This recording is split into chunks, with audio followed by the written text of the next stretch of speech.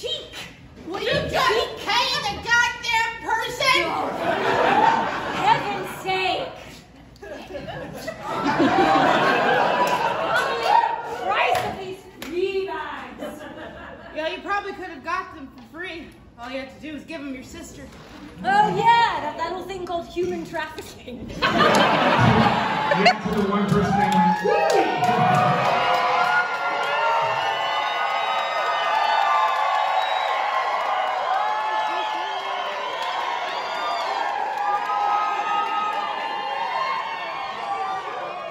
Evie walks up to Rick, she smiles and walks off. Rick tucks his boner in his belt. we are now in.